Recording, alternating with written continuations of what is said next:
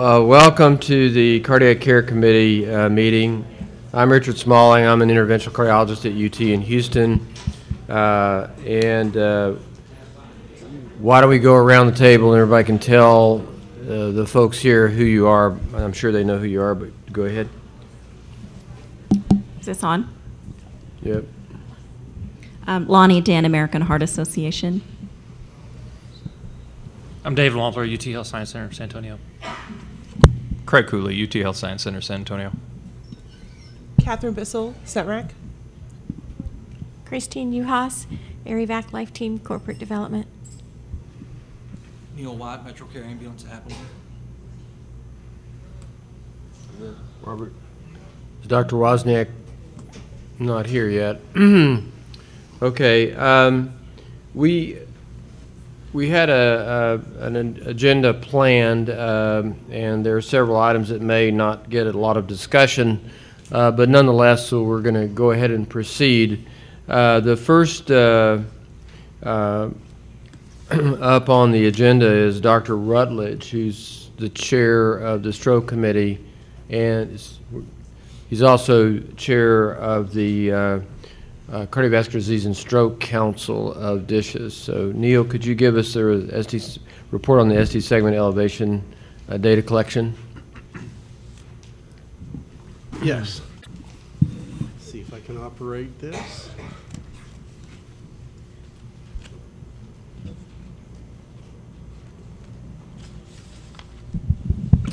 So, hi. For tho- those of you guys who don't know, the Texas Council on Cardiovascular Disease and Stroke is similar to the GETAC Council. Uh, It was enacted 20 years ago. Uh, Its um, uh, job is to basically report to the legislature on ways to um, uh, decrease uh, heart disease and stroke in the state uh, and uh, formulate a plan to do it cost effectively. Uh, to that end, one of the things uh, the council has done is uh, collect data um, to look for uh, gaps in care and ways that we can make it more efficient. Uh, Originally, that was with a Rider 97 last biennium, and this biennium, it's Rider 67, which is increased from 500,000 last biennium to 2 million this biennium. Now, the way we got data elements is we solicited, the, the, solicited them from the stroke committee and the cardiac care committee. And uh, a little plug, we're having a council meeting uh, Friday afternoon to go over uh, the data collection elements for this coming biennium. And anybody who's interested, please come uh, because we want input on which data elements uh, to request from the RACs to move forward. So what I'd like to do right now, though, is, uh, is pass on to you uh, da- data collection that's occurred so far. You've had some of this, but this is the hospital data uh, that I'd like to show you uh, relevant to uh, STEMI. Um, the, this data is uh, voluntary, uh, it's anonymous from participate, participation in hospitals that are enrolled. The instrument that was used is Get With The Guidelines. That um, has worked through the American Heart Association, and DSHS has a license to then access this data. The data is aggregated in such a way that um, there are no identifiers, but the idea is then to give feedback directly to the RACs and the different committees at GETAC as well as the legislature. Um, The object, obviously, is to improve uh, heart attack and stroke in the state. And that can mean a couple of things. In a, in a legislative sense, we want all uh, citizens to enjoy good health, but also we want to do it in an economic way.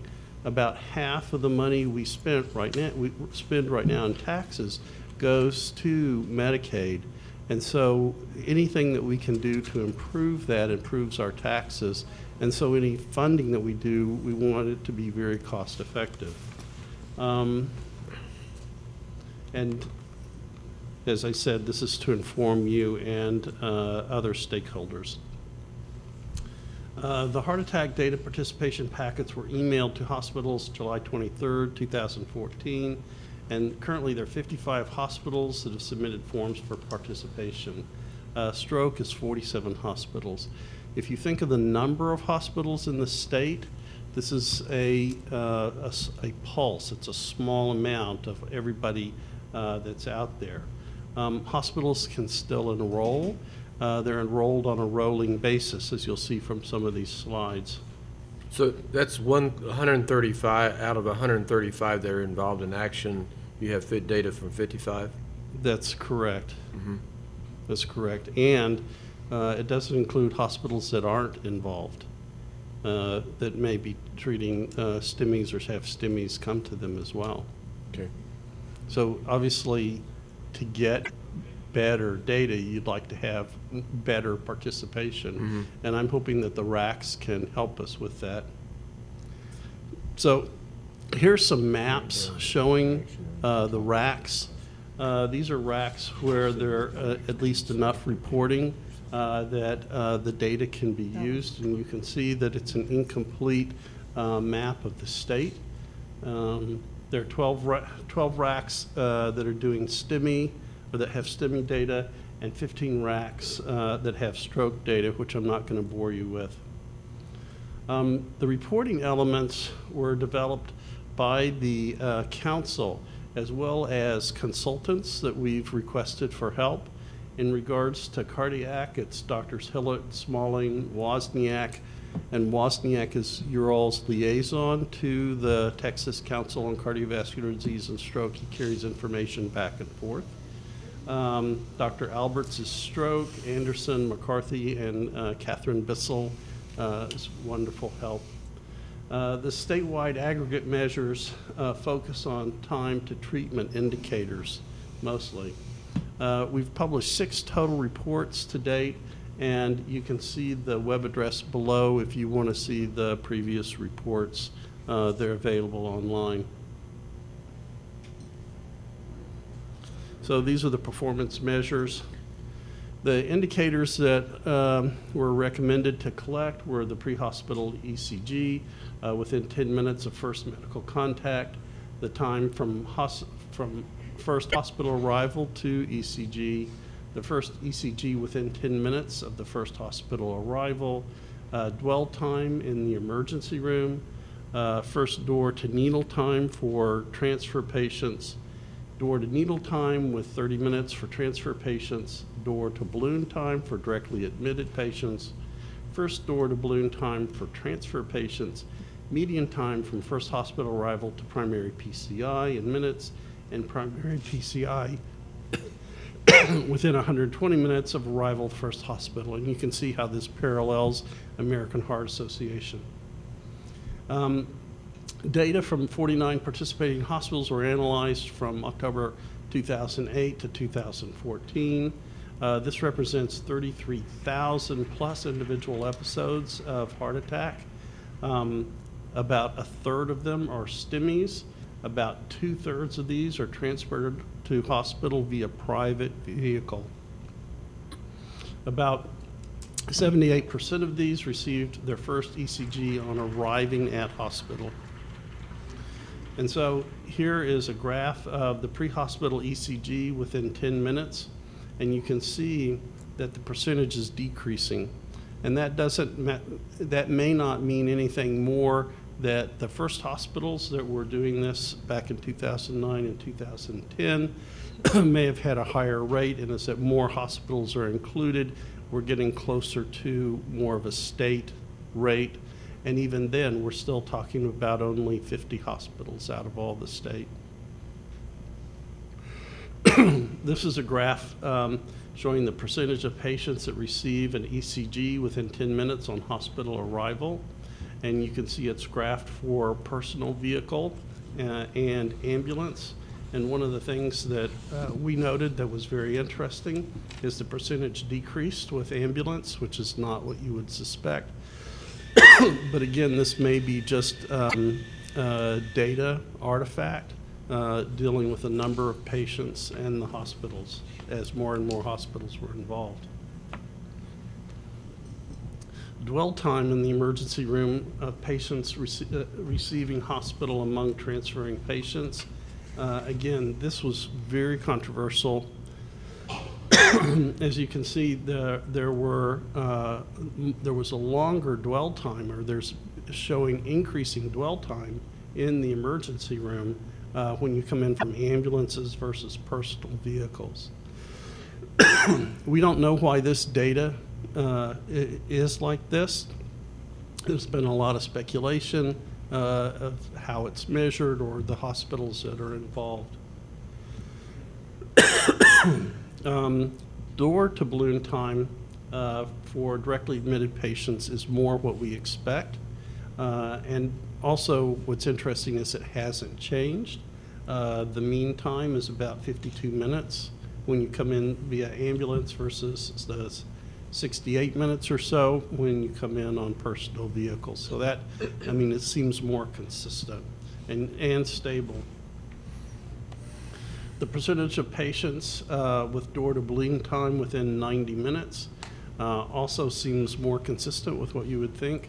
Um, Well, actually, more consistent because more patients uh, in the 98, 97% range uh, get to the lab when they come in via ambulance versus a little less uh, when they come in via personal vehicles.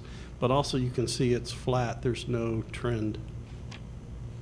And the percentage of door-to-balloon time within 120 minutes among transfer patients, again, uh, ambulance is a better way to go than uh, personal vehicle.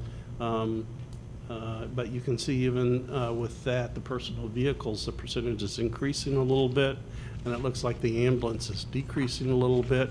And is that a effect of the hospitals that are being measured, or is this a real trend? It- There's not enough data to say. So those are the data elements that I have to show right now.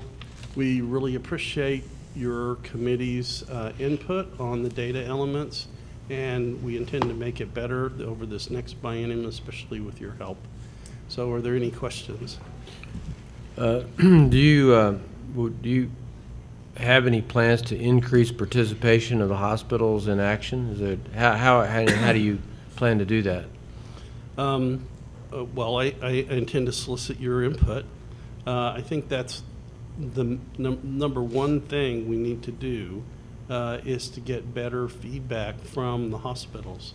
Many of the RACs um, have individual relationships with the hospitals and are using other instruments other than uh, Get With The Guidelines. And so, um, one possibility is to use other instruments and to focus more on the data and try to collect, uh, try to collect data from multiple different instruments. Uh, it's the data that we want. Um, but yes, I agree with you. The key thing we need to do is get more hospital information. Uh, another way to do it if legislatively might be a way to do it. Right now, hospitals are mandated uh, to provide uh, trauma data.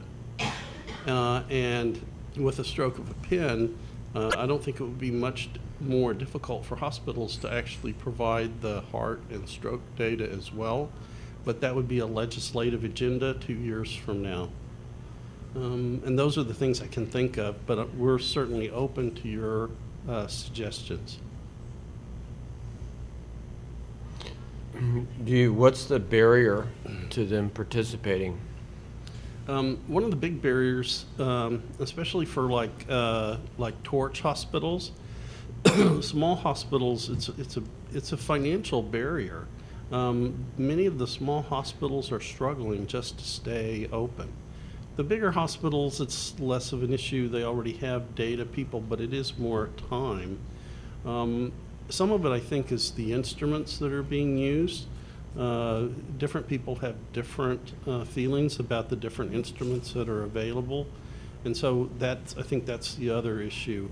Um, I I think there's uh, some hospitals Like when we were initially trying to get the data, uh, the hospitals were um, very concerned about remaining anonymous.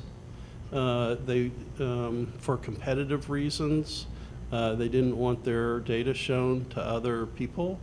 Uh, But as more and more data is mandated and required to be released, uh, that's, you know, there are fewer and fewer secrets. And so um, I think that data is going to be out there one way or another.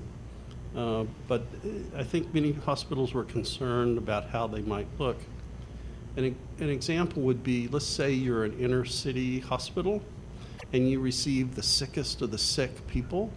Your outcome data might not look as good as a um, suburban uh, place where people aren't very sick, and it might not show your skills in the best light. And so people have wanted to have severity measures attached to outcomes. Um, so there are many, many different reasons.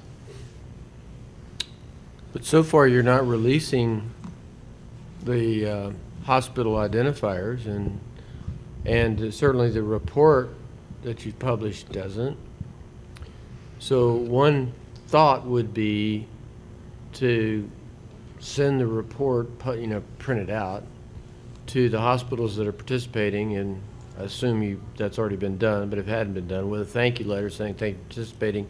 We're disappointed that only 55 out of 135 uh, hospitals are participating, uh, but we, we thank you for yours. And then send the same report to the non-participating hospitals saying, here's the, the report generated by this effort.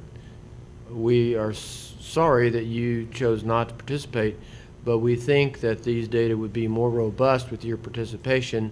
And this is what's distributed, so you can see that it's a non, it's non-threatening information, but will help us improve STEMI care, stroke care, whatever you want to, you know, whichever report you send. And we could direct, I, if, if, for instance, I had that information, I could take it to our chief medical officer and say, you got to sign up. Well, the- so the information is coming back to the Stroke GETAC Committee, the Cardiac Care Committee. Uh, It is going to the RACs themselves. It is uh, sent to the legislature, and it is made public. The uh, reason we can't identify the hospitals is by their request. That was part of the contracting. Uh, But we can show hospitals within a region uh, such that they're not identified. So if a RAC has more than three hospitals participating, you can have just that RAC data, is my understanding. If there's only like one hospital in a RAC that's participating, the uh, RACs have been combined to uh, de-identify it per the hospital's request. You, uh, David had wanted to have a comment, and then perhaps Catherine. So, do we have any idea, these data, uh, what uh, percentage of the STEMI patients are represented by the 50 hospitals? Because it seems sort of like they're going to be self-selecting, uh, the the really good hospitals are going to step up and provide their data. Right, so uh, in the legislative report, which I would refer you to, and it's available online, and I didn't bring, and I don't remember the number specifically, it does uh, detail the incidence of heart disease and stroke in the state, and so you can extrapolate what that is.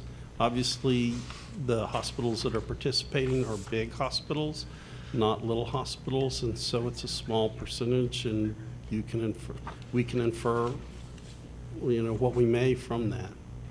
So also going back to Dr. Smalling's comment about the barriers, could, could you give just like a, a one-minute synopsis of what the, sort of the data flow is? So if- when the hospital wants to contribute and participate in the program, where does the data go? Who, who is actually working the data? Yeah, so my understanding of it, and it- this may be incomplete, um, uh, the, the, the hospitals are using, uh, the, the instrument they're using is Get With the Guidelines, uh, which is uh, uh, mediated through the American Heart Association. That data goes to a company uh, out of state, and I can't remember the name of the company, that uh, data is, is de-identified, uh, then the state has a license, uh, which was bought uh, from the American, from American Heart, Asso- or through the American Heart Association. Actually, I'm, I'm going to just, if you don't that mind not if I right? jump in. Yeah, you Um, may know better, so. So um, the hospitals submit their data to NCDR, which is the American College of Cardiology. Um, it's and the registry is Action Registry Get with the Guidelines. mhm. So the data um, agreements between the state are with NCDR, Right. um, not the American Heart Association. Right. So they actually have um, made payment and have contracts with NCDR to be able to actually go in and pull the information from the hospitals Right, that have then access that consented. Right, and they get um, the state is getting a limited data set. Um, so, like you said, you know, de-identified data. So, um, So it's only de-identified data, oops, there you are, is going back to dishes, right? right. So not hospital identified and not patient identified? Actually, um, hospitals are voluntarily um, kind of unblinding themselves. Like they'll, um, um, uh, there's a Mission Lifeline report that's developed as well, and that is through Duke Clinical Research Institute. So in that way, hospitals are letting the state know which facility they are. Um, but the state has uh, contracted and made an agreement with the hospitals to keep their identity, th- to not unveil, unveil their identity. You want to reveal it? So it's apples, sort of apples and oranges. So if you participate in action, you can get your data as a hospital, but the whole RAC gets the data, or how does it? The RAC is receiving um, the report. So the report that um, Dr. Rutledge just gave us is like a kind of a high-level snapshot, but there's actually a 35-page, really well-done report. Um, the Texas Department of State Health Service uh, epidemiologists have put together. Um, that information goes back to, yes, yeah, that information is going back to the RACs as well as. There's a RAC survey that was done, and that information has gone back to the RACs as well. This doesn't include hospital data. It's the NCDR data that the state is. You're No, no, no. No, it's The other aggregate thing data. that I think is important to understand is that RACs, there's no RAC information in there. Um, so we have yearly totals and on the specific measures, but there's no way for us as a RAC to see that. I know that we've got some RAC information that's in this report, but this comes from the information that the RAC submit to mm-hmm. DISHES and has nothing doesn't, doesn't come from the action registry. So they're completely different elements that we're looking at. So we're getting some RAC information, but it does not relate at all to this state report. Right. And the state um, epidemiologists have determined they would like at least six hospitals per RAC to be participating before they aggregate the information and send it back to the RAC so that you're, they're not unblinding. Like if they have one hospital in a RAC participating or two, they're not unblind, unblinding that information. And unfortunately, we can't, we can't even try to mediate that because um, when we go to the state and ask, to help us understand what hospitals um, are participating so we can get a regional report, we're not even able to know the names of the hospitals that are participating. So we can't even, as a RAC, even though we have those relationships built and that we can bridge that gap, we're not even given the ability to be able to, to help mediate this project. So really, the RACs are kind of taken out of what is really going on with this project. We could, we could help make this data very robust, as Dr. Smalling has said, um, but we have to empower dishes, has to empower the RACs to be able to do that. Yeah, I, I would disagree with that. It's Okay. the hospitals that have requested the information be anonymous. It's not the DSHS In- that's requested that. Sure, And sure. it's, and uh, I can tell you from a council standpoint, we want the data to go back to the RACs. We want RAC uh, participation, and we agree that it has to be a RAC-centric uh, uh, approach.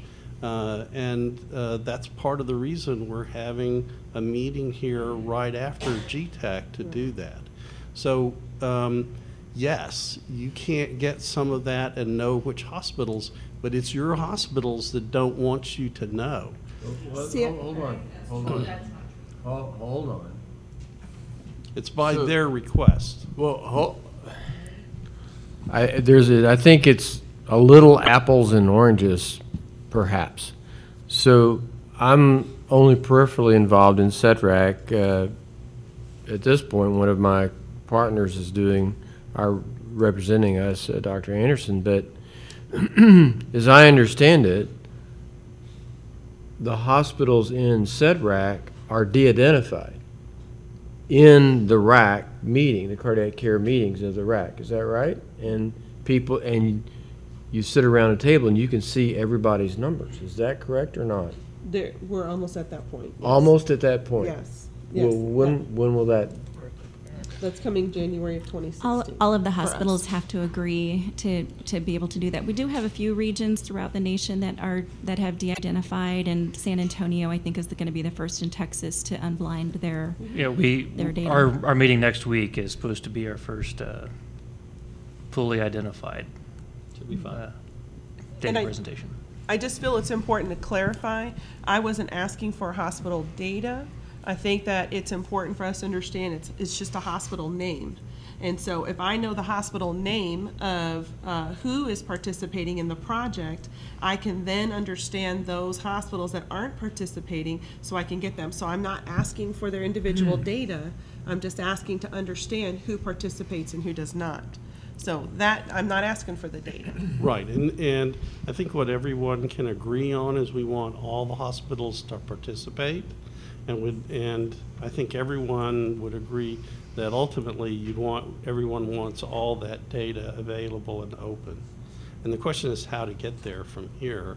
And um, I mean, that's part of why we're having that meeting tomorrow, and I hope you'll uh, participate and make that clear that that's the goal. so, um, help me understand this. Um, there's information that's collected at the RAC level.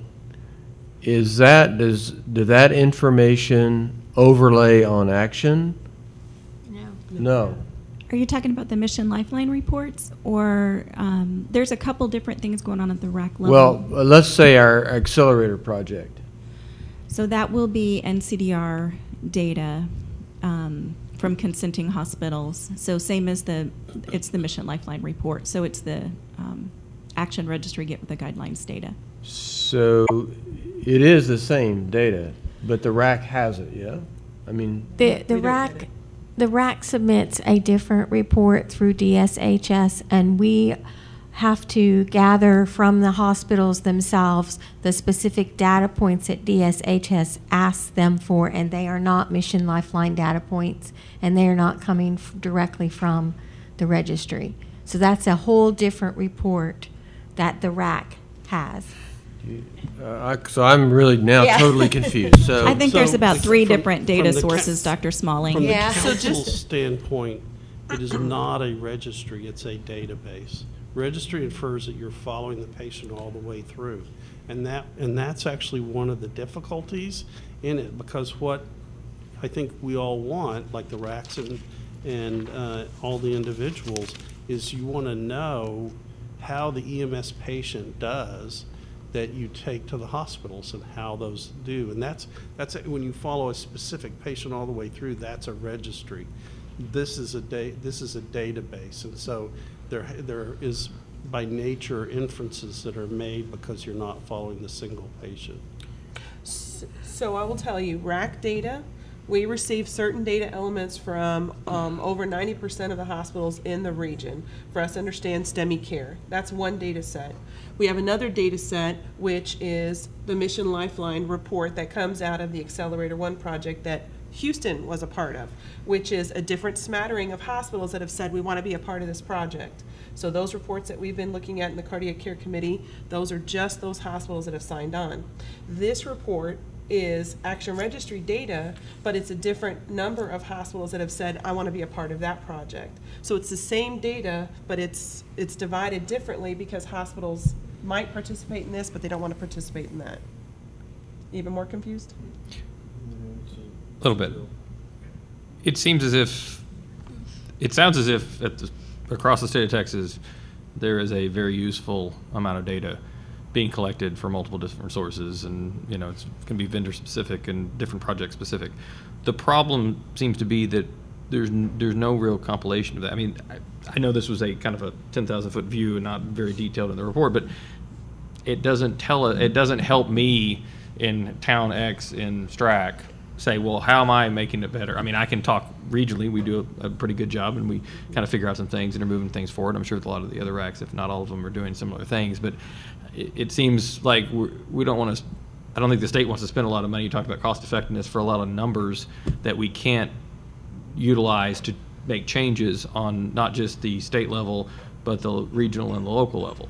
I mean, one of the one of the great things about the state is very very large, very diverse, but that can cause you know certainly problems from these things, sort of things. So I think is whatever you're talking about the meeting tomorrow, whatever moves forward, is probably it's very important to not let ourselves get locked into one particular data set or one particular source or vendor um, because times may change. And there's a lot of data out there that's a lot of hard work being done by a lot of people. And for various reasons good and bad it's not getting all the way up. And and that's if there's anything to move forward it's to i think personally it would be at a RAC based system and and help have let the RACs figure out the best way and it's some and it may evolve and swing back and forth over time on which registry or which system we're going to use for what we're specifically looking for but kind of focusing on one thing which this is a good start but i don't know that this helps me in town you know my hometown and with my ambulance service Oh, Can we go back to the RAC data collection, independent of Mission Lifeline? Okay. What data fields are in that that are different than Mission Lifeline data fields? Right now, currently at our RAC, we're looking at door to balloon times. That's what the committee had decided. So it's similar, but we look at all STEMIs, or we look at all, all um, STEMI patients. Um, Action Registry has a little different inclusion exclusion criteria for some of that. So, does that answer your question? No. So, Okay. so So that's You're Also- just looking at door to balloon time? Right now, we're just looking at door to balloon times. That's so, it. So Richard, that's On the RAC level. And that's what the council is asking from you, is which data elements you want the council to look at. Mm-hmm. It doesn't have to, I mean, it can be the elements that you want. The only thing that I would say is, you know, we're asking the RACs to collect this data. Now, if you're Houston and you have this huge RAC, that's one thing. If you're a little bitty RAC that doesn't have a full-time employee, and the amounts of money that we were able to offer last time, a couple of thousand dollars, you, you can't ask for, you know, a hundred elements on, you know, ten thousand patients within a RAC. So, uh, the only, my only, um, caveat would be that we look for, we, we don't overwhelm RACs with the elements that we want to collect. But these are the elements that we're requesting from you of what you are going to find most helpful. So would you like a list from us of the top 10? Is that, can we get this narrowed down to what you would like from us? Sure, I mean, that's what your committee and the experts on your committee have been requested to do. We didn't limit it to 10. Um, It's, it's what you think would, it's what your recommendation is.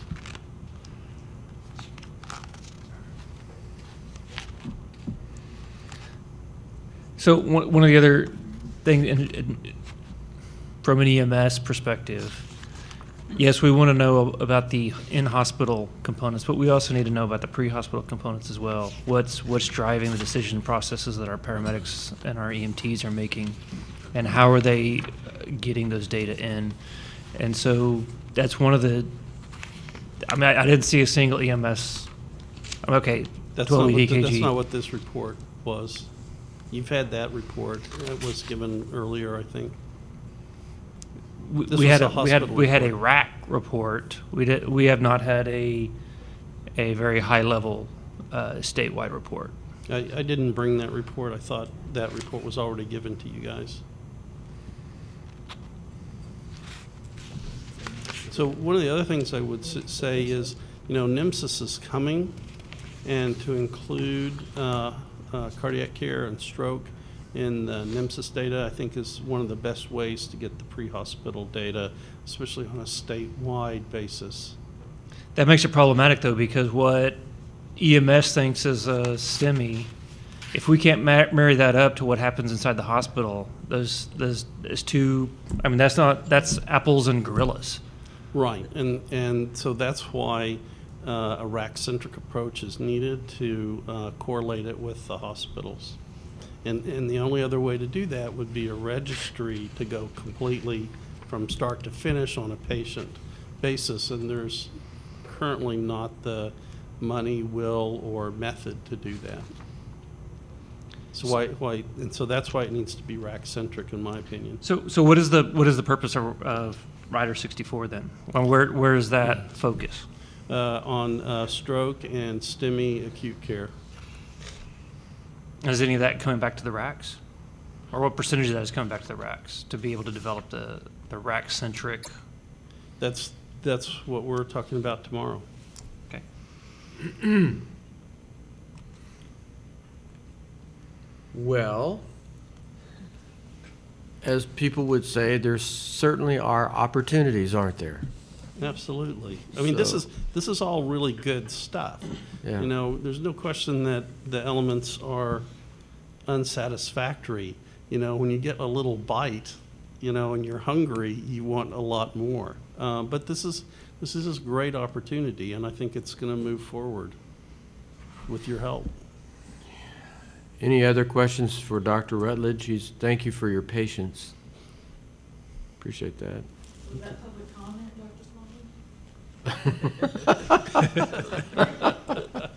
You can call it whatever you want to call it. Okay, So yeah, go ahead. Public comment for this.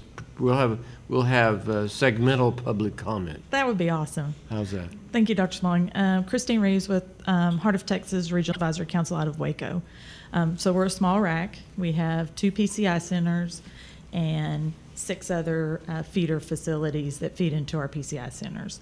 Um, we don't get to have a separate RAC report because we only have two. However, in my RAC meetings, all of our information is de-identified, and we collect all of the information that is collected in the mission lifeline or in the action registry. Um, we have for years. Um, we have our own, re- and ours is a registry. We track from pre-hospital to um, discharge from the hospital. Um, so we are one of those that has one of those other ways of collecting the data. Um, David, to your concern, in the Rider 97, the pre-hospital data, um, each quarter um, it has changed on what data points we're collecting because we're providing clarification. Some of us have been providing clarification. When they send the numbers back, we're like, well, the reason you only got the answer two is because the way you asked the question. In a rule setting, you're missing, you know, this piece of the pie, so we need to ask this question. So I think it is important that we provide Dr. Rutledge um, with the points that we want specifically um, from EMS um, and hospitals, but mainly EMS to get the data that you guys need, um, particularly in the rural areas.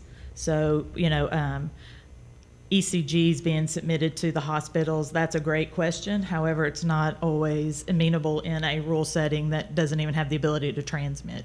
I mean, they're unofficially, I know we're on TV, they take a picture, it goes to somebody's, I mean, that's how they're transmitting um, EKGs. So, um, but I think we need to decide what those data points are. I do think it needs to be input from this. I'm glad we're having the meeting tomorrow to have a discussion to be a little more clear. I think now that we're, you know, almost two years down the road with the Riders 97 project, I think that we can um, provide better input um, and push more for it to be RAC cent- truly RAC centric. Um, Catherine tried to show the RAC report. The RAC report we get back is only as good as the data that's fed in. And so I don't share that data with everyone. I share it with my cardiac committee and we go through and they're like, there's no way this is true. Same with stroke. Um, because when I'm not sure where the other data gets, some other data gets added to what I submit to DSHS, and I don't know what that data is because it throws our numbers off. Um, and then um, for the smaller RACs that only have don't have three centers, whether it's primary stroke centers or not, um, the way that the data is presented is very misleading. And it, I've been getting texts all day during stroke and during this. Why is M not showing? Why do we show bad numbers? Well, it's not that we show bad numbers; it's that we're looped in with other people, and so it looks like our numbers are off. So whatever we need to do to go to 22 and not, whatever it takes. I think the hospitals are more open to sharing more than we give them credit for. Because at the RAC level, they share a lot. I know in San Antonio they share a lot. I know in Houston, they just share way more data than I think we give them credit for in a public forum. And I think we can get more data and better, do better treatment for patients if we allow the RAC centric system whatever that vendor field is and however they collect the data. Because I think that more RACs than you think collect a lot more data than we give them credit for. Thank you, Dr. Smalling. A, a good point that she made, and an element you want, might want to collect. I mean, what I see this is as a way of uh, getting information for the state on what we need uh, to do better. And uh, she brought up something that tickled my ear. Is like you know a, a lot of EMS don't have uh, ECGs in their ambulances or ways to transmit it. So one, so an example might be that might be a data element that you want to look at and map is where do you know where is ECG transmission available? I mean, Didn't that come from the RAC survey? I thought we saw well, that. i- i- that's what I'm saying is that kind of data Mm-hmm. is, is something that you may want to consider rather than did hundred percent of people meet, you know, some, you know, criteria that, you know, they're already meeting at ninety-five percent. It, it, elements that can help us as a state improve, I, I think is really what we should be asking. Okay, thank you very much. Uh, Now, the uh, next item on the agenda uh, was the GETAC strategic plan document. um, And uh, Dr. Cooley, Dr. Wampler, and their respective committee members submitted uh, suggestions for the evolution of that document. Um, You want to talk to us a little bit about that? uh? So Dr. Wampler and I and our colleagues submitted, uh, no, so actually, yeah, we submitted stuff, uh, but it's probably about two, three months now.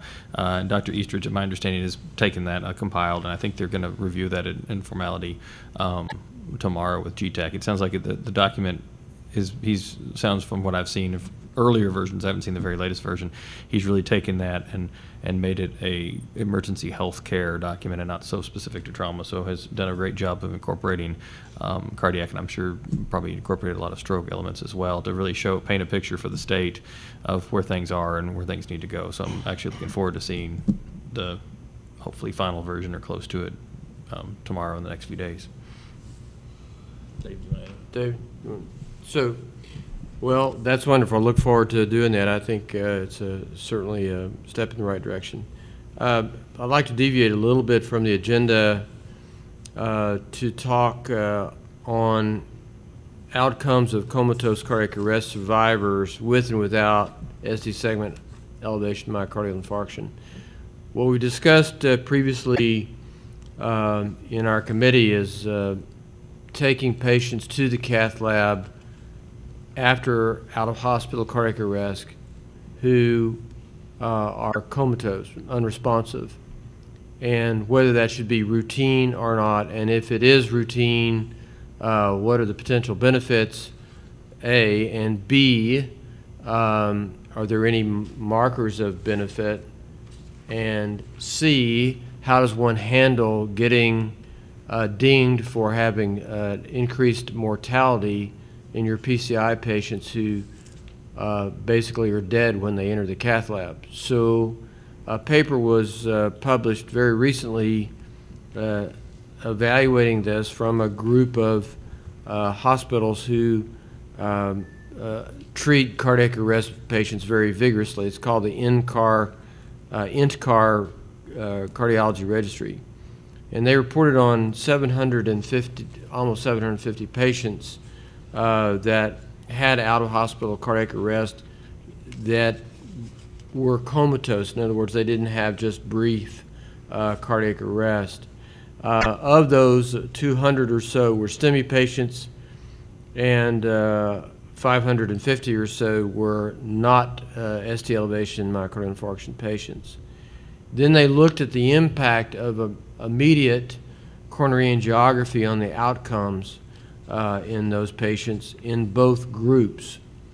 And what they found was uh, if the patients underwent immediate coronary angiography, uh, the majority of the STEMI patients had 80% had occluded arteries that were reperfused.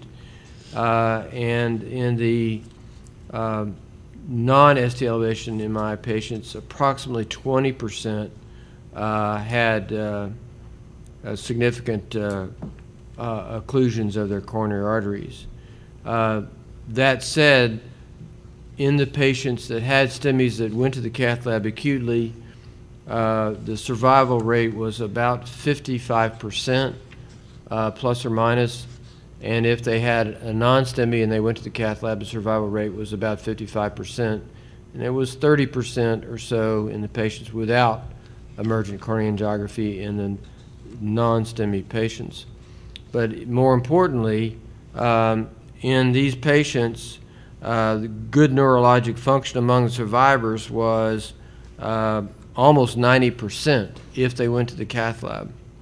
Uh, and without going to the cath lab, it was around 50% uh, in the STEMI patients and about 78% in the non-STEMI patients. So um, I, I think that there, there, this, this information uh, says to us that we really have to pursue taking patients to the cath lab. So then, then the question is, what do we do uh, when our uh, cardiologist on call says, out of hospital cardiac arrest, put them in the CCU, let's see if they wake up before we take them to cath lab. Um, because I don't want to get another black mark. So um, at the interventional cardiology section meeting at the American College of Cardiology last March, I raised this issue. Um, and Dr. Anderson, who's on the NCDR database committee, uh, participated in the discussion, and Steve Ramey, who's chair of that council, uh, also participated. And uh, we had a unanimous vote that NCDR should exclude patients with cardiac arrest from the cath PCI registry. Uh, over the next three months, this was uh, percolated up to the Board of Trustees, and now there's Board of Trustee support for this, and it looks like there's a reasonable probability that will move forward, and this this ding will be stricken from from uh, the cath PCI registry. There was further discussion about STEMI outcomes and whether these patients should be segregated in the analysis of STEMI outcomes. So if you have a patient with a STEMI that had a cardiac arrest and is unresponsive neurologically, are they the same as the patient who comes in with ongoing chest pain who's wide-eyed and bushy-tailed? So um, there's some discussion about segregating the cardiac arrest patients in the STEMI group uh, from the non-cardiac arrest patients. And so I think there'll be more to come uh, in that. Uh, so I just wanted to report that, and uh, I would urge you to, uh, in your local council, your local chapters of the ACC, voice your support for these these changes. So, uh, Craig, do you? What about on the emergency medicine side? So I've only had a chance to very briefly look at this, but I, I was curious on their definition of immediate, and I actually like what they chose. It was within two hours. So I, th- uh, my job, I tend to think in seconds and minutes, and so to me, immediate's like now. And I think one of the problems at my institution, we've certainly got uh, a, a general consensus with our interventional cardiologist, and for the most part individually, are willing to look at these patients with a critical eye and hope to take them to the lab, but they justifiably having us call and kind of toward the end of the rest, or we got pulses back for five minutes and say, okay, go to the lab right this second. When in 10 minutes later, of course, things may not work out that way. I think can be sometimes frustrating. So knowing that they need to go soon and not end up admitted to the CCU for hours or days to figure out how things sort out. But they don't necessarily, you know, you do have a little bit of a window of time to tr- figure out if you've got that true patient that's got return spontaneous circulation and some stable-ish, you know, vital signs that they're not just going in and out of arrest.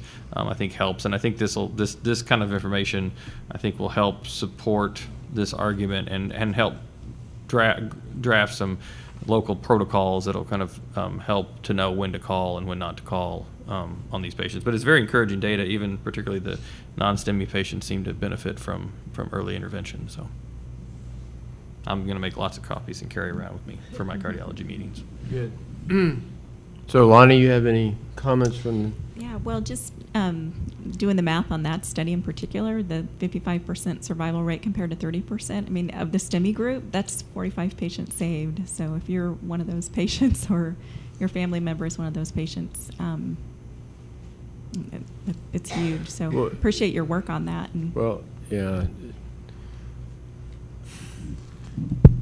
I think one other comment as this pushes out into pre-hospital, and I've thought about this for the last couple of years. You know, when we look at all the research data on CPR and, and outpatient out of hospital cardiac arrest, it, it's often um, you know pretty poor if you're not particularly in that obvious VTVF early defibrillation group. Um, but up until I would say relatively recently, we, I think most people would agree, we've never had a very particularly standardized baseline of compressions. And I think over the, the push over the last probably 10 years or and more recently, that you know across most of the country, I think you've got at least you know, you, whether you use a mechanical device or a pit crew model or whatever it is, I think that the emphasis being on good CPR has has sort of leveled the playing field. And as, over the next few years, I think a lot of data that we, a lot of things that maybe we've always thought were no good at all, may have some subsets of, of goodness. And and the whole arbitrary, it's been 20 minutes and we haven't gotten back, and certainly the very elderly patient with a lot of comorbidities and very sick patient, I think that still holds true. But I think this this arbitrary cutoff or these standing protocols of after a set period of time we're done um, may need to be looked at, particularly in these elements when you're maybe having um, multiple arrhythmias, recurrent VT, VF, and the reality of potentially in transporting those patients with the idea that they may need to go to the lab and even pushing the envelope further in, as an inter-arrest situation. So I think this, this carries out into the field as well, I think, as we move forward, and it's important that we keep pushing this and, and kind of really help sort out, try to find those subset of patients that we can hopefully relatively easily identify to, to get to the lab quickly and, and not overutilize resources.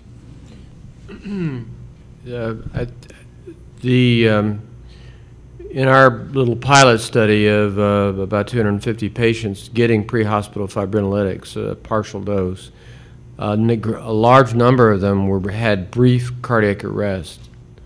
Um, And it- almost all of the patients with brief cardiac arrest that uh, got lytics in the field had minimal damage and survived.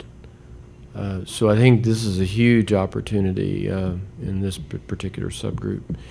And I think our, our concept of not giving lytics to someone who's unresponsive may, may need revision.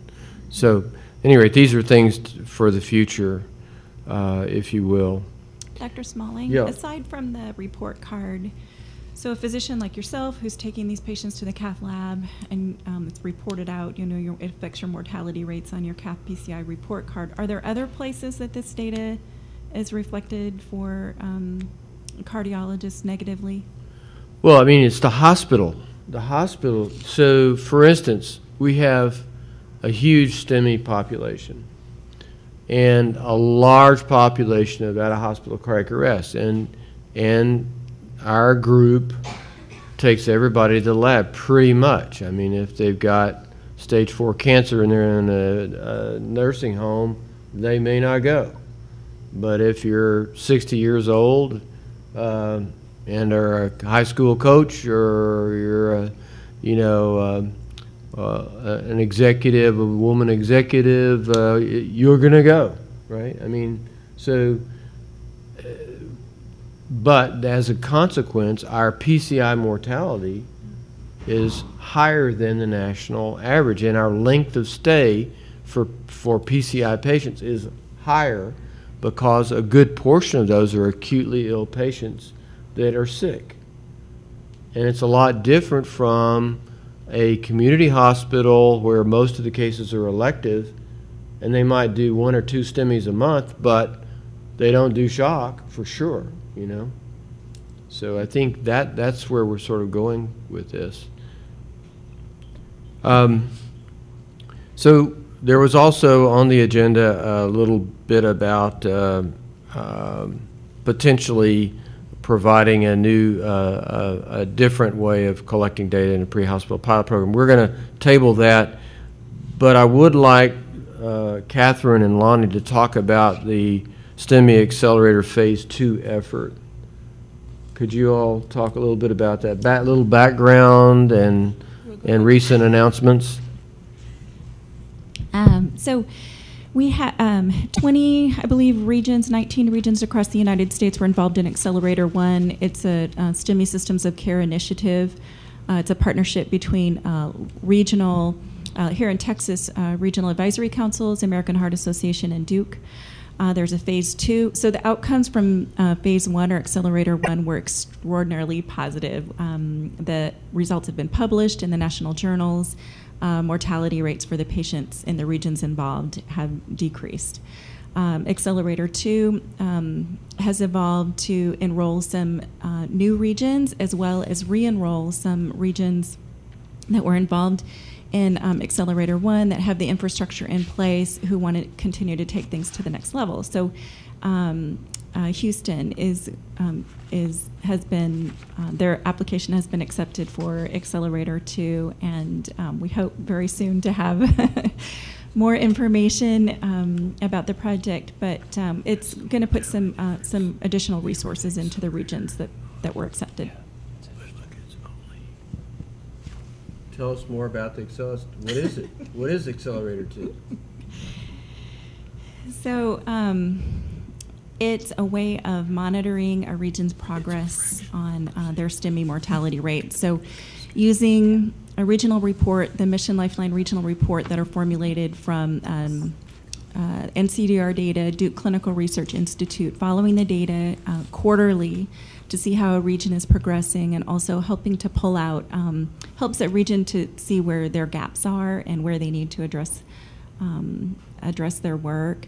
It's also a way to um, uh, uh, there's an educational event involved, so educating um, the region as well as this time around, there will be um, some regional faculty uh, feet on the street actually working with the hospitals on the project. Is there a difference between the, the action report and the accelerator report?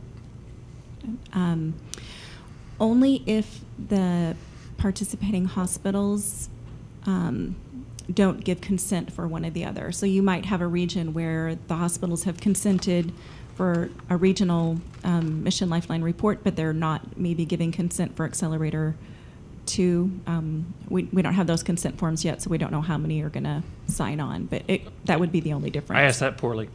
Is there anything that the accelerator provides that the action does not? That the Accelerator provides that The action registry does not, the action report does not. Um, in terms of the data, no, the data is the same. So let's go back. What's going to be the difference in Accelerator Two and Accelerator One? So in Accelerator 2, if all the contracts are signed and this moves forward, um, there will be funding for staff support in the region and also um, the possibility of um, funding for registry fees for hospitals that have not yet signed on for um, the National Registry. But my, okay, so let me be more blunt. What about pre-hospital fibrinolysis as a focus of Accelerator Two?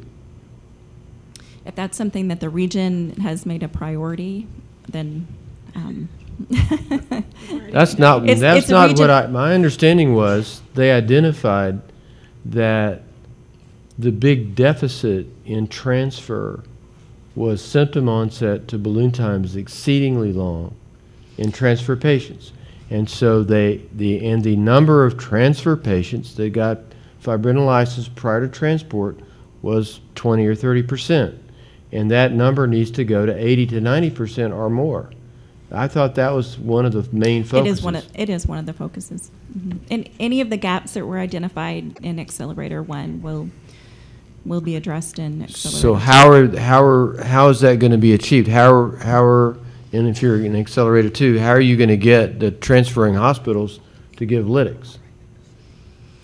Um, education, so something that we're doing um, in any of our regions, even if they're not accelerator regions, and that's been identified as an issue. Like, for example, in Wyoming, where we're working, we, very, very long transfer times. Um, a huge focus there has been, um, you know, appropriate treatment for those patients that are not making the timeline. So, um, making sure people are aware of the guidelines and the science and, and um, get educated about administration and timely administration.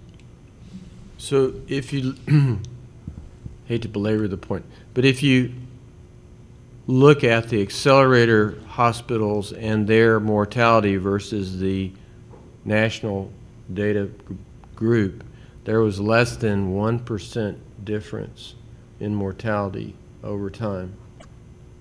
So there wasn't a huge difference. There was a very, very small difference in mortality. Unless you're in that 1% group. No, it's, it's less than one percent. It's less than one percent. It's tenths of a percent.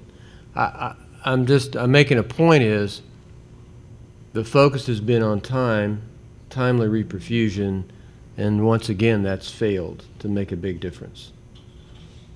Just making that point.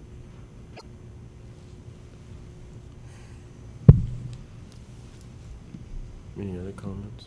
I was just gonna, on the, the lytic conversation, um, it's encouraging to hear that that's kind of the next phase, because actually, a week from, I guess, today, our regional cardiac meeting will be, we, fingers crossed, finalized. Our, we like to affectionately call it the lytic map, but it's not really a map, it's just the proc- procedures in place to push uh, lytics quickly, particularly in the hospitals that are outside, you know, the window of transfer, and it's a much smaller circle than you'd assume when you kind of run that, you know, when you play with helicopter flights and stuff, it all looks like it'll work almost for our entire region. But when you really look at it and look at the data, um, both from other studies and what we look at locally, you know, you get outside the, the loop, and, and for San Antonio in particular, you're almost, with a few random exceptions, you really are better off just giving lytics and transferring them in. So through conversations to all the region, with all the, obviously cardiologists, there's a little bit of a back and forth about half versus full dose and everything, but got it, all that sorted out. So we're hoping to kind of roll that out over the next, you know, few weeks to months, and we'll see what, and then obviously get the data and see how our numbers look, so. Keep So we're not into, Just FYI, the CBRAC region, um, because there is, we are a really small region down in Corpus Christi, and there are five um, outlying hospitals that are actually connected to one of our receiving centers, and our cardiologist, um, who works real closely with the RAC, Dr. Alexander, has initiated um, all of his patients, when identified as a STEMI, get a lytic on board, and they still do go directly to the cath lab. And we've been running that program for over a year now, and it's been it has been greatly successful because um, helicopter is not always the answer. The answer is is open that blocked vessel or get as much blood flowing as you can, as fast as you can. So it's been working great in our little RAC. What do you mean by working great? Can you get some numbers? It's not been a whole year yet since we implemented all the numbers, but I'll see if I could get some numbers and have Dr. Alexander send them to you. That'd be great. I mean, if, why don't you report back at the next meeting? Maybe you could visit with. No, serious. I'm I'm serious. Okay. Yeah, tell him we're we- we'd be very interested in his success. Okay. Okay, and how he did it. Is it full dose or half dose or? He gives full dose. Okay, good.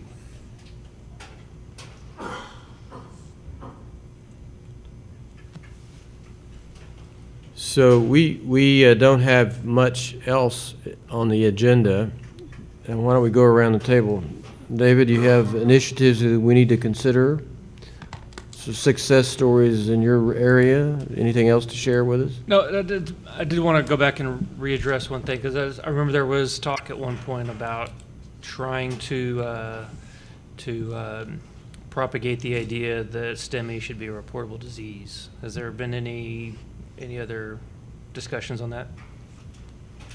So I pushed that, I, I presented that as a motion at uh, the council meeting either last time or time before last. And anybody from Dishes here that could tell us whether that's been approved, moved forward, or? I'm sorry, what? So if, if STEMI is a reportable disease requiring all hospitals to, to forward the data, it takes a lot of the problems that we, it, it takes a lot of the problems that we've talked about today off the table. So that motion was made at council by me. I believe it was voted on. Uh, I'm not sure where that stands. Does it, do you know?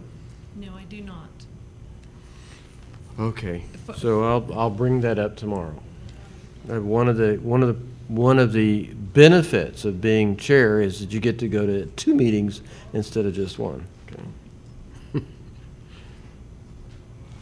Craig, Oh, I mean, thanks. Catherine?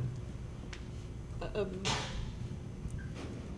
I think the, um, you know, in the, you wanted us to talk a little bit about what we're doing in our region. I think in our region, we've uh, done a great job with some of the um, local data.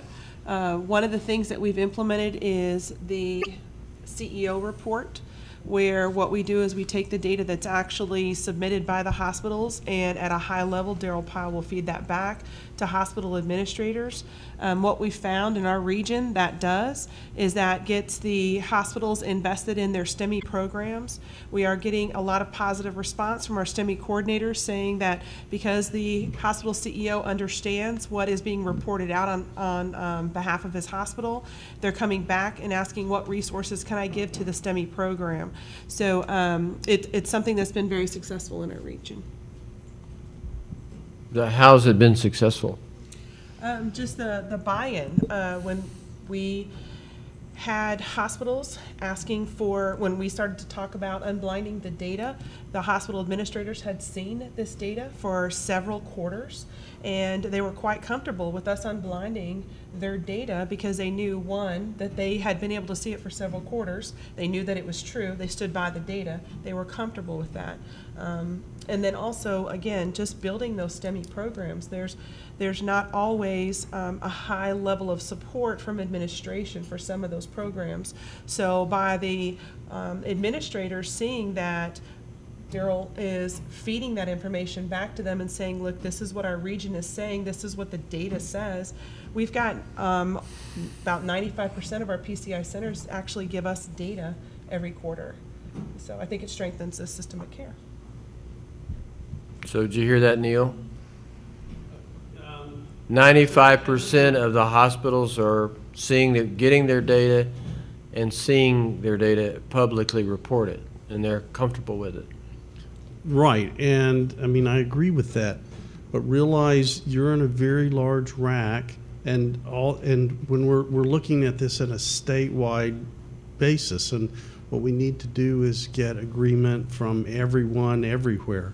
And so it goes back to why my belief is that we have to go to a RAC-centric approach. You've been very successful. Other people may not, and we want to encourage that. Okay. Um, so that's the issue. All right, so Catherine, um, if the CEOs are getting the data, but they're still not allowing dishes to get the data from action, that needs to be pointed out to them and say, look, you're already doing it. Why don't you just go take the next step? There's a lot more data fields and there'll be more comparisons. And, and we did, we did attempt to do that.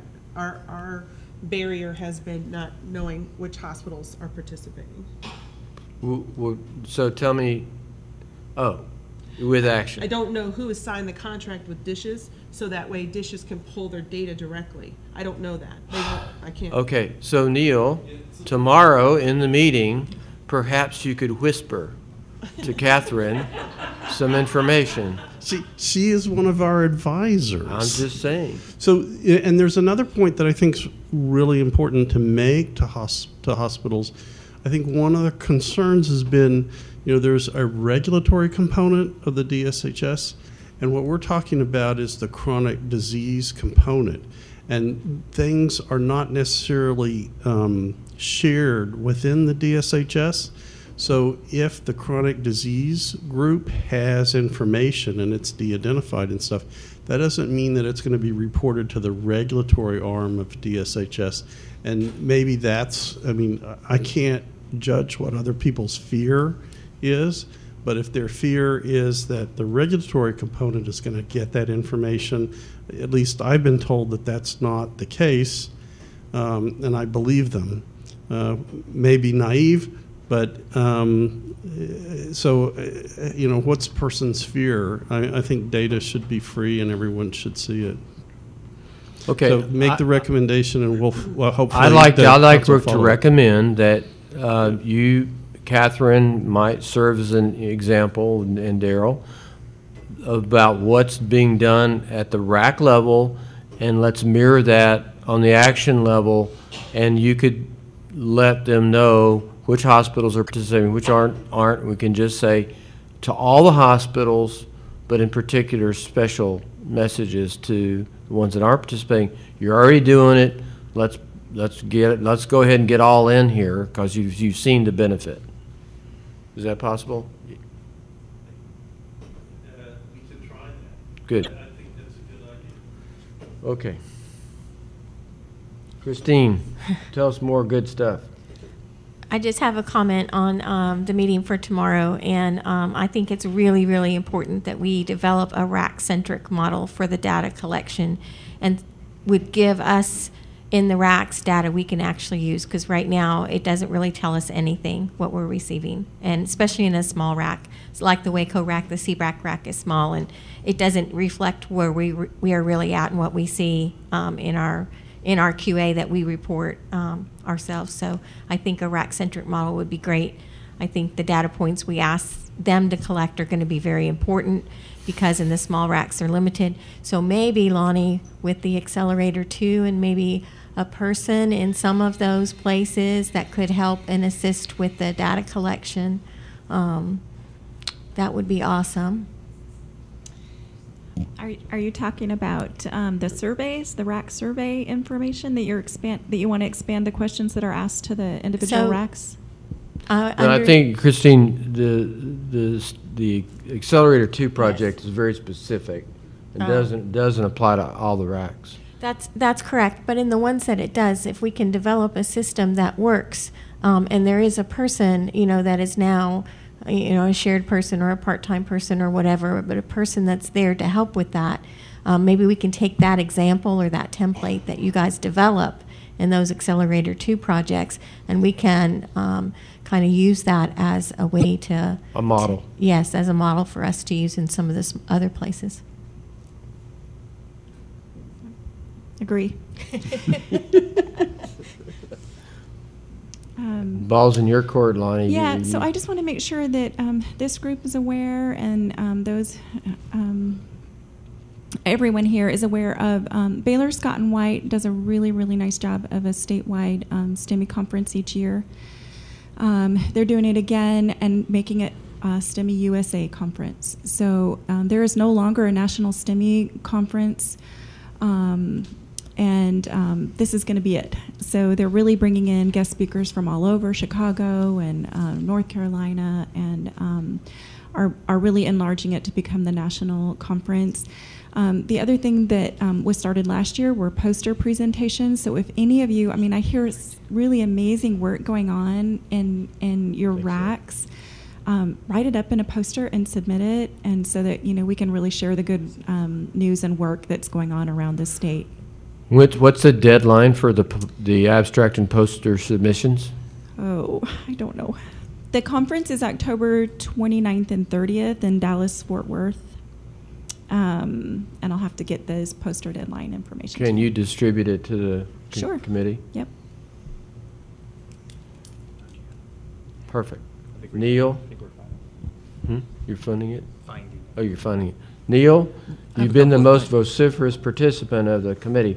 So Just what have you thinking got it for us through. today? Uh, A couple of things. At a local level, we just signed contracts for health data exchange through one of our hospitals and a couple of our EMS providers so that we can get feedback from the hospitals on STEMI outcomes, as well as what patients were STEMIs, which ones were not. So now I know if my providers are overdiagnosing or underdiagnosing a STEMI. I know uh, if we just flat miss one, or if we take a patient in with some atypical symptoms and we just completely drop the ball on that all the way around. So those contracts were just signed uh, beginning of this month, and I expect to have that in place within the next 60 days to be able to get that data exchanged back and forth between the hospital and the. Who, who is this? What's the company? Who, the data exchange, Yeah. we're doing that through ESO Solutions. It's our EPCR vendor, and that's also the vendor that uh, two of our hospitals use for extracting data from our charts. Can you embellish that a little bit? What data we're extracting? Yeah, yeah, how does it Uh, work? How does this work? It's essentially just a, a kind of a two-way conduit between our servers and their servers so that uh, if we take in a STEMI patient and normally my crew wouldn't know what the outcome was, they get, it's not really an email, but a, a data set back saying, this is what happened, this was your door to balloon time, this was the outcome, the patient went to cardiac rehab, they went home, they died, they, they whatever. Here was the outcome for your patient. Here's your door to balloon times. Here's your uh, first medical contact to EKG time, which we track those in house anyway. But for us to be able to exchange that data between the hospital and ourselves, I think is really going to be a significant improvement for our region.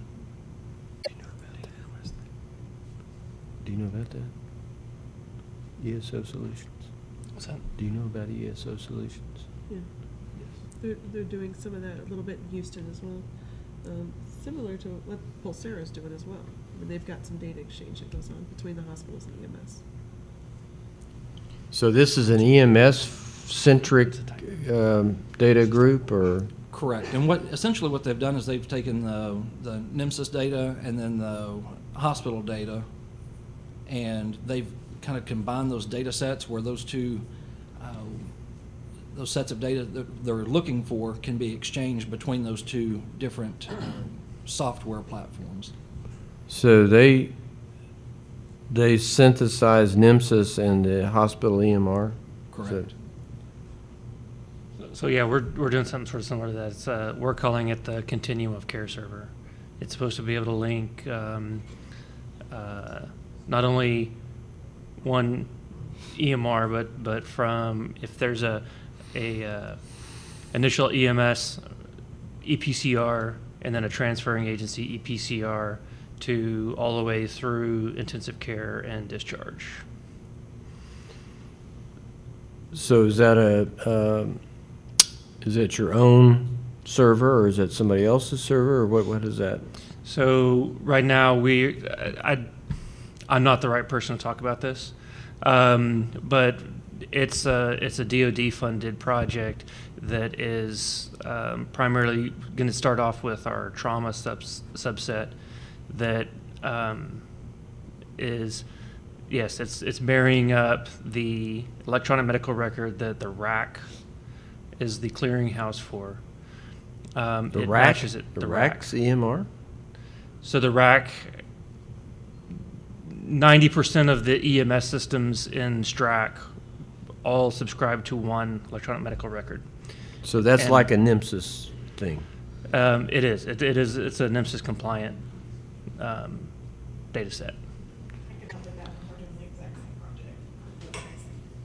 And okay, and so the the idea is to be able to patient match pre-hospital any inter-facility transfer, um, the the the remote emergency department and the level one trauma center. Take that patient all the way through the ICU discharge and um, be able to track outcomes. And so that EMR, EMS, NEMSIS compliant uh, data set is also married to the hospital's individual EMR, The state trauma registry. state trauma registry. Yes. Okay. which would be perfect to match up with our state uh, cardiac registry. Absolutely.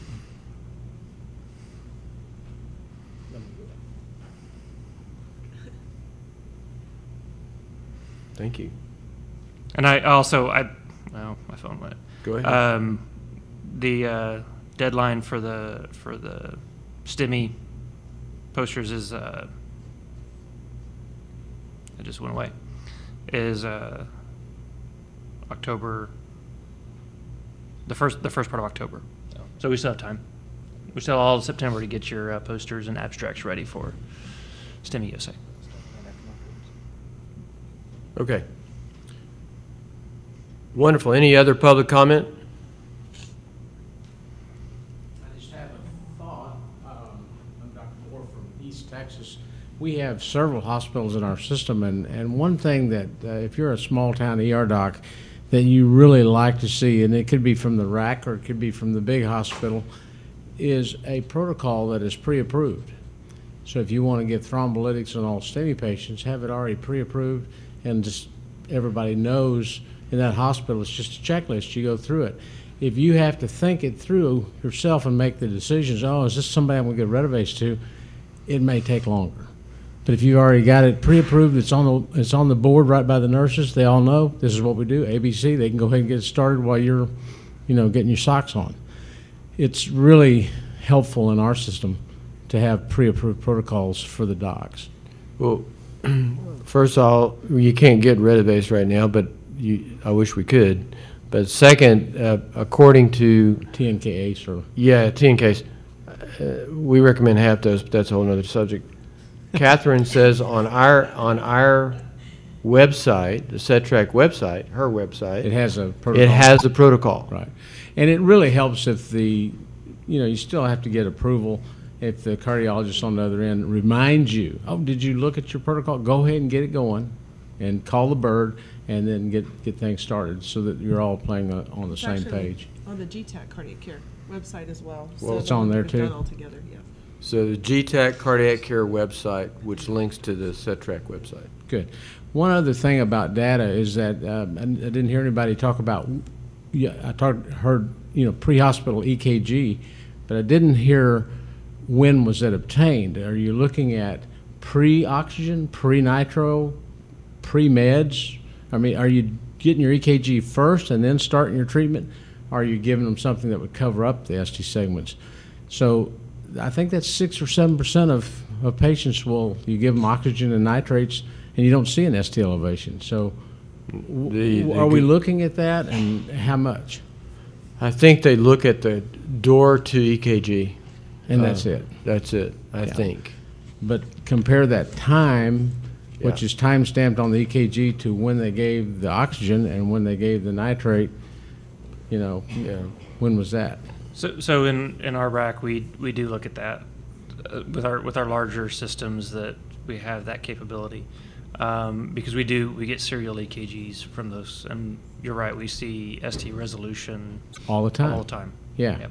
And so that's kind of scary because if they come into your ER and you show them the latest EKG, they get to go home because nobody saw saw anything. You know, if there's not. That's not what our, our medics show. Our medics are excited They're about screaming about the right, first yeah, one. Yeah, yeah, Yeah, that's great. All right, that's all. Daryl? I'll I'll just add one neat thing that's happened with SETRAC. We opened up our cardiac committee to involve EMS members, so they can get credit for attending an EMS meeting by coming to the cardiac care committee meeting. Uh, The room is usually standing room only with an audience bigger than what we have here today. And that synergy with EMS is producing some really nice results that I think is going to show up statistically. We are adding about 14 or so new elements that are going to be studied. And uh, I can also tell you that it's happened with everyone coming forward and volunteering 100%. There's no cardiac hospital that's not participating with us. So you can use a feather to pull this off. It doesn't, it doesn't necessarily take a hard-handed approach to get hospitals involved. Although hospitals might turn you down if you've got to pay money to the Heart Association to participate, or a hospital might turn you down if they feel that their their data is going to be included in a faulty report and it's going to be embarrassing. there's reasons why hospital administrators are, are the way they are, and I'm one of them. Uh, I can tell you, I have a patient, I have a stick figure on every board in my offices because we care about the patient, but it's not just something you can go do and not embrace the RACs. I love hearing this RAC-centric approach tonight, and I also enjoy the interaction with Dr. Rutledge and the idea of let's just get the data submitted. If one way works for one RAC and, and Heart Association works for another RAC or whatever, let's let's encourage that so that we can get this data and we can make a difference for the patients. Finally, RAC R, which it, I'm Q and R is like Beaumont and, and up to um, down to Galveston and, and that area, they are adopting the same system that we're using at SETRAC, and it's at no cost to them and at no cost to their hospitals. So this doesn't have to be a money-making uh, venture to do what's right for the patient. Thank you. And I just need to clarify one point that um, you just said, Daryl, and that is that the American Heart Association, the hospital writes a check to the American Heart Association. Um, we don't receive a check for um, data submission. There's there are vendors that that house the data. The American Heart Association doesn't house the data. And vendor that you guys use. It doesn't go to the. I, I think we need to ta- table, table this discussion. yeah, the, the money doesn't go to the American Heart Association. Okay. All right, well, that was a very nice uh, discussion, and uh, I learned a lot for sure, and thank everybody for coming. And uh, the next meeting will be in November, um, on the weekend. Do we have the date? I don't have the date. S- Sunday or something? Sunday or Saturday? I do not have the dates right off the top of my head. Okay, so we'll put that in the minutes when we find out the dates. So, yeah, G, in November. And the cardiac care meeting is, all right, Sunday, Sunday. Sunday afternoon. Sunday afternoon. Sunday afternoon. Okay, 22nd, very good. Thank you very much. Have a good evening. We're adjourned.